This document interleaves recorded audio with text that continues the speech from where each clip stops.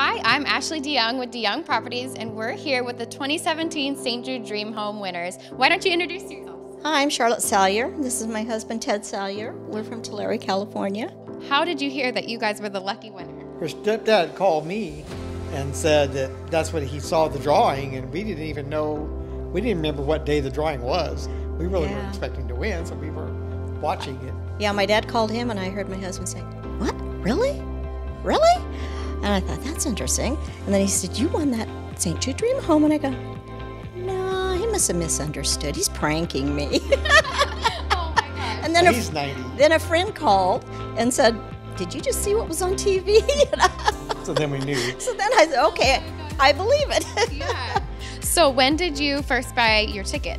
um, it's been about two months, I guess. So when they first went on sale, Okay. And how many tickets did you buy? I bought 15. So, how did you buy your St. Jude Dream Home ticket? Well, I went to the website for the St. Jude's Dream Home and I called the phone number on there, the 800 number, and I bought my tickets. Were they surprised that you bought 15? yeah, she said she'd never sold 15 before.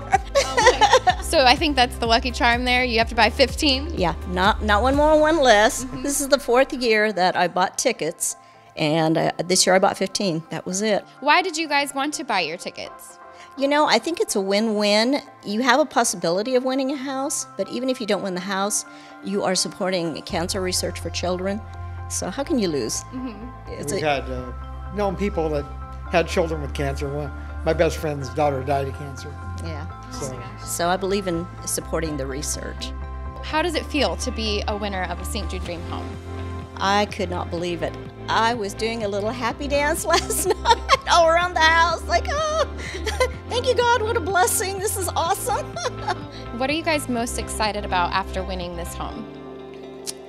I can't wrap my head around it yet. I think I'm, it's too early. I'm still in a state of shock. I really was not thinking about winning a house. So it's amazing. Yeah.